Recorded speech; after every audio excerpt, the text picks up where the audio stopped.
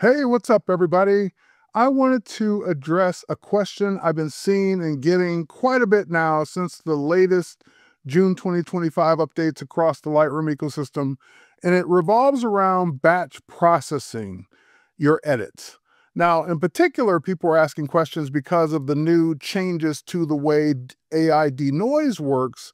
It's now part of the edit stack, and the way that that's changed kind of changes the way you would batch process multiple images to do denoise.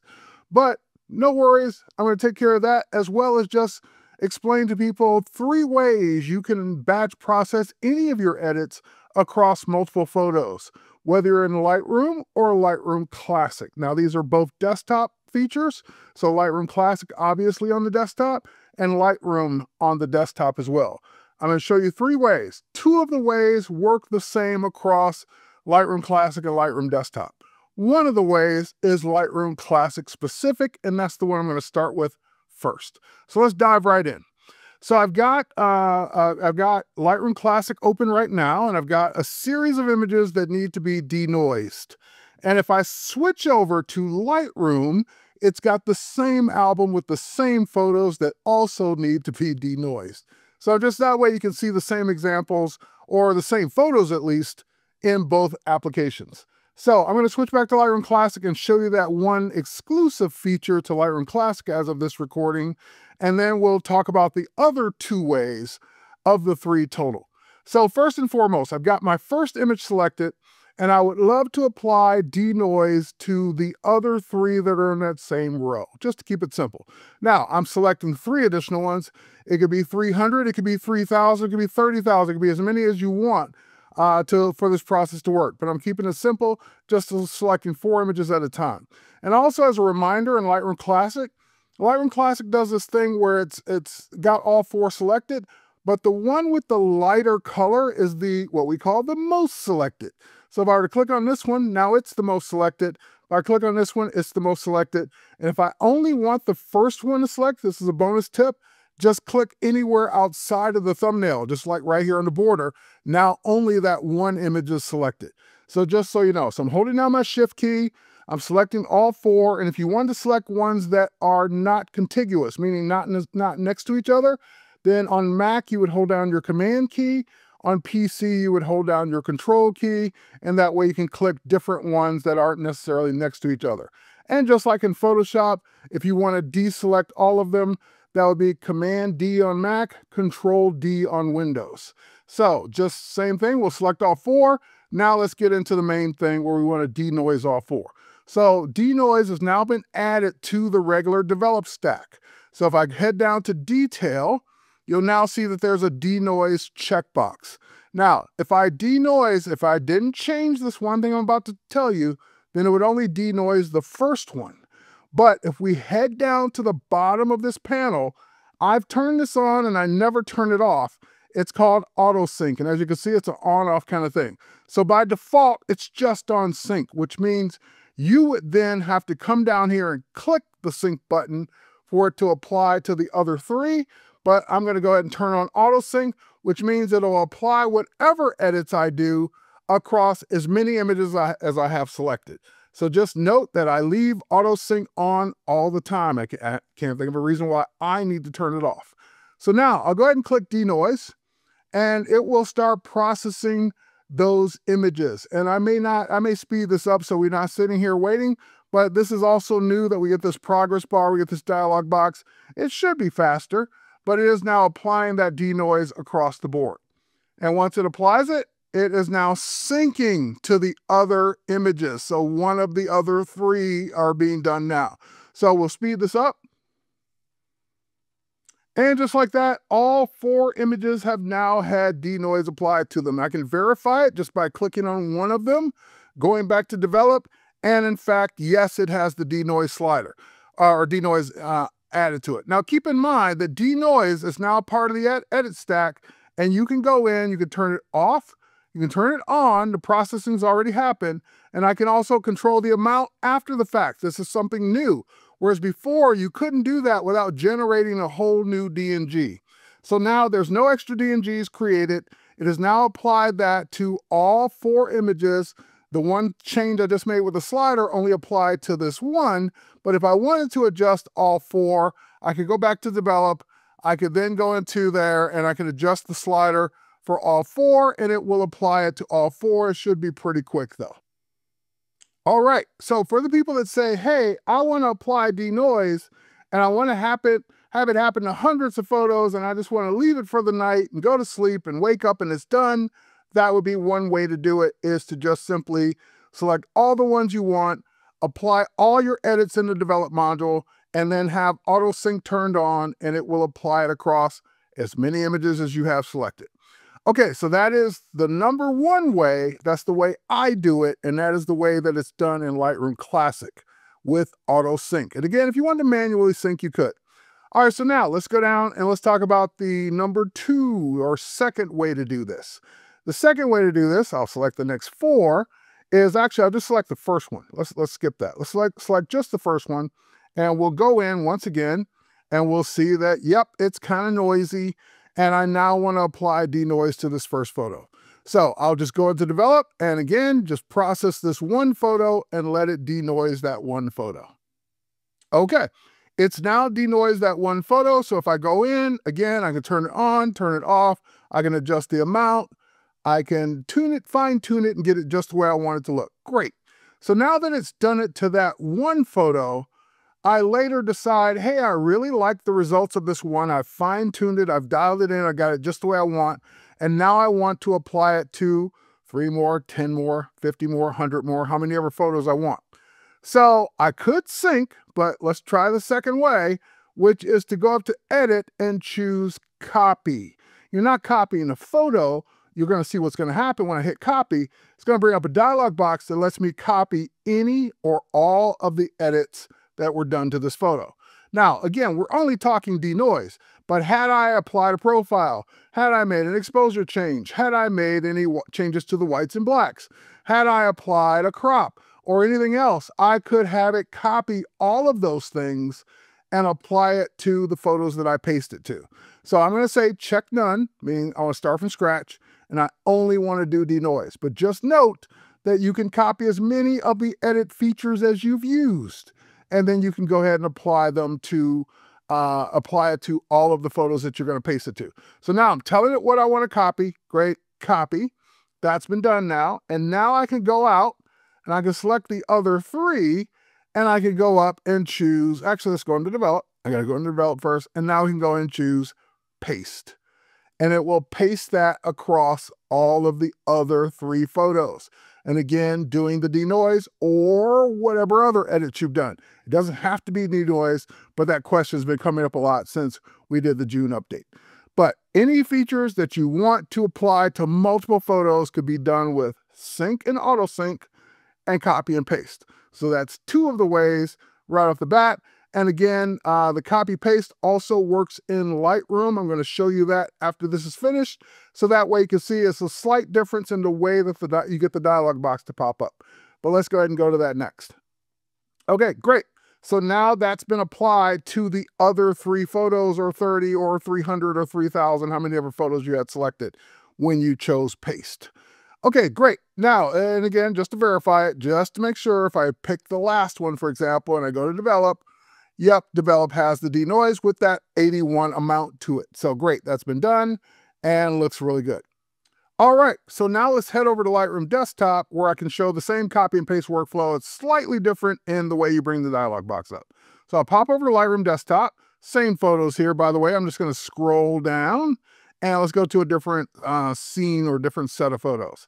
So I've got this photo here. Uh, these were taken all in New York on the Brooklyn Bridge. And I've got this photo and I'm now going to go into uh, detail and I can I can see, yep, it's it's kind of noisy. Let's make sure that DI, AI denoise has not been applied to it. So we're going to go ahead and apply that. In this case, this image is in the cloud, so it's got to bring down the image from the cloud first. Now it's applying the denoise. All right, and that's finished now applying denoise to the photo, so great. And again, I get the slider, I can go and continue to adjust it and continue to make it look better. All right, um, actually I'm gonna crank that up a little bit more. Great, so now I wanna apply this that I just did to the other three photos on that same row. So once again, I could copy, and by the way, you have edit copy here as well, but we've made it easier and more uh, exposed by just putting it down here on this uh, control bar. So copy edit settings, but before I do copy edit settings, there's a little gear icon that brings up a similar dialog box to the one that we saw in Lightroom Classic where we get to choose what features we want to copy to the other photos. So I'm going to say none, just like I did before. Don't do anything. I'll tell you which ones I want. I want to go into detail. I'll twirl it down and I only want denoise. Now again, if you want to copy any of your other edits that you've done, this is what it's for. Any of the changes you've made to the entire photo, you can now copy all of those things and have it done. But I'm just going to do this one, copy denoise. Okay, so great. It's been copied. And now I go to the other three, and you'll notice that copy edit settings has now changed to paste edit settings. So I can select as many as I want, three, 300, 3000, how many ever I want, and now just go ahead and click paste edit settings. And it's now doing the exact same thing. It's pasting uh, the settings that we made to the photo, which is the AI denoise, to the other three photos. So this would be the workflow for a Lightroom desktop user as opposed to a Lightroom Classic user. This is uh, way number two. And as you can see, way number two is pretty much the same across both Lightroom Classic and Lightroom Desktop. You access it from the copy paste menu under, under edit, or in Lightroom Desktop's case, there's an actual dedicated controls for it at the bottom. By the way, if you're done pasting those settings and you now want to get, uh, I want to copy new settings, you just click the little X down there at the bottom, and now you're back to copying again. So we can go to a different photo, we can go to the gear, or we can just copy what was done to that photo and paste it to more photos. So that was way number two, copy, paste across Lightroom Classic and across Lightroom Desktop. Now we're going to go to way number three, which is using a preset. You can make your own developed presets or edit presets and apply those to multiple photos. So I'll, I'll pop down here to uh, uh, some folks or some shots from Hawaii. Let's go in and yep, there's some noise in there that we can go ahead and take care of, but let's go ahead and do that as a preset. So first and foremost, I gotta tell it what I wanna do, do to these photos. So I wanna denoise this one and we'll let it denoise after it downloads the original. All right, so now that this photo has been denoised, this is the one that I want to apply the preset from. So I'm gonna go over to my presets and uh, there's a section called yours. And right now I don't have any for noise or denoise or anything like that. So I'm gonna go ahead and make a new preset and we're gonna call this uh, AI denoise. And I'm not going to put it in a masking group. I'm just going to say that it's uh, just in the user presets. Uh, just let it sit there by itself. All right, so once again, we're going to go ahead and select none. Don't do any of those other things. Just do the one thing I want you to do, which is denoise. So it will copy whatever settings you've done to this photo. So if you need to move the slider, move the slider first. And then once it's done, you've now made your own denoise preset that you can apply at any time to your photos. So if I go to my user presets, there it is, AI denoise, and I can now go in and let's say we go back out and uh, we want to select these other two photos. We can now go to my user presets where I've got that AI denoise and I can click apply. And is now, do you wish to apply this preset to two photos? And if you don't want to be bothered with that message again, say, don't show me that again. But yes, apply that preset to two photos. And again, it'll take the time that it takes to do whatever it is in your preset to apply it to multiple photos. This will save you the time of a copy paste all the time or an auto sync all the time once you have denoise set up the way you want or any other edits the way you want. Save them as a preset, including adaptive masking can be a, a uh, saved to your presets as well. And then you can just apply those presets to anything you want. Uh, I've got presets for sky, I've got presets for people, I've got presets for just about anything I want to edit on a consistent basis, even with adaptive presets. And it will go ahead and apply those changes, settings, or whatever to the photos, non-destructively. So even if it's not perfect for the new set of photos, I can still go back and make adjustments as needed. And they're done. So now I've got two photos or 20 or 2000 or how many ever you select have now been applied or had the denoise applied to them. And again, we can get out of presets. We can go to uh, any one of these photos and take a look at the uh, detail settings and we can go and verify, yep, that denoise has been applied to this photo with the, with the default amount from the preset. So that is how a preset works in Lightroom Desktop. Lastly, we'll switch over to Lightroom Classic to kind of do that same kind of workflow of doing it with a preset. Let's see, let's yeah, let's use one of these, for example. I'll go in, I'll go to the develop module. I'll uh, go ahead and just, again, use denoise because that's the one that keeps coming up. But again, any of the things you've done can be saved as a preset.